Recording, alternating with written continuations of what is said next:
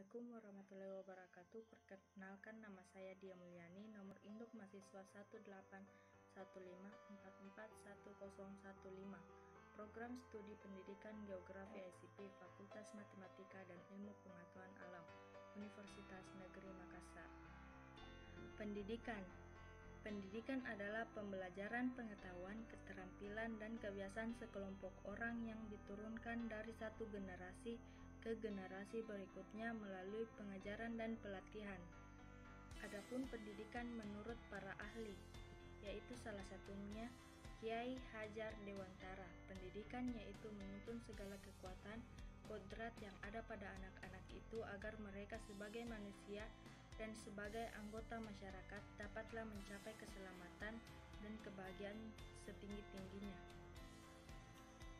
Tujuan pendidikan yang pertama, menurut Undang-Undang Dasar 1945 Pasal 31 Ayat 3 menyebutkan pemerintah mengusahakan dan menyelenggarakan suatu sistem pendidikan nasional yang meningkatkan keimanan dan ketakwaan serta akhlak mulia dalam rangka mencerdaskan kehidupan bangsa yang diatur dengan Undang-Undang Dasar.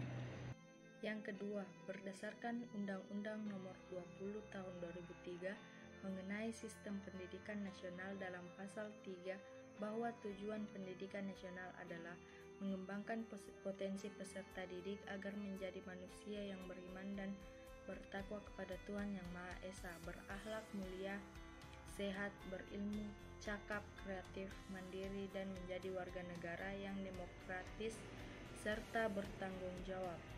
Yang ketiga, tujuan pendidikan menurut UNESCO dalam upaya meningkatkan kualitas suatu bangsa tidak ada cara lain kecuali melalui peningkatan mutu pendidikan. Sistem pendidikan negara maju di benua Asia dan benua Amerika.